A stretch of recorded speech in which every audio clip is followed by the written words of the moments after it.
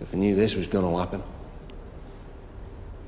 Were you so arrogant to think you'd got away with what you did? No, because none of it happened. All this is a result of a, a troubled and delusional mind.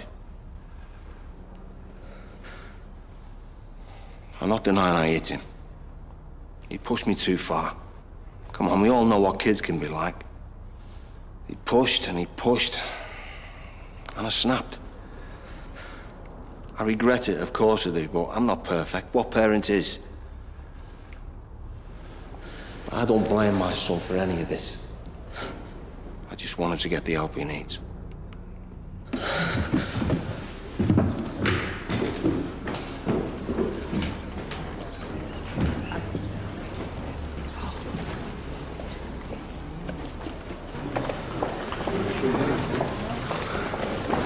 Are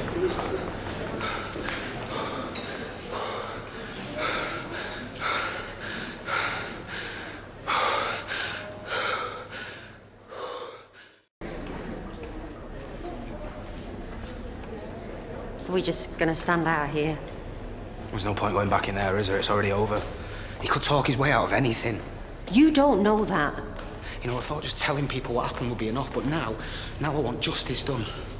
I can't stand hearing any more of that rubbish coming out of his mouth. There are 12 people in that jury, Aaron. They can't all be taken in by his lies. Yeah, well, seems he's dropped the whole it wasn't me, it was your football coach thing as well. Obviously too much of a gamble for him. Now all he needs to do is plant enough doubt. Come on, this isn't helping anyone.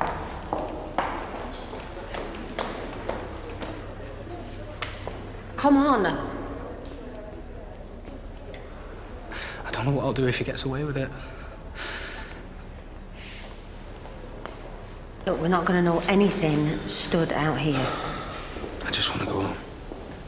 Aaron, he's a liar. No one believes him. Yeah, but even if you're right, Mum, they'll believe Liv. She's got that recording. Hey, let's get in there. What he's done. Call the next witness. No prizes for guessing who. Yeah, Aaron, because if it gets out, Gordon's not the only one up in court. Ryan just wanted this to be over. He's not going to say anything, is he? Yeah, well, he said something when I paid him. Hello? It's time. Everything okay? Yeah, I'm fine. I'm ready.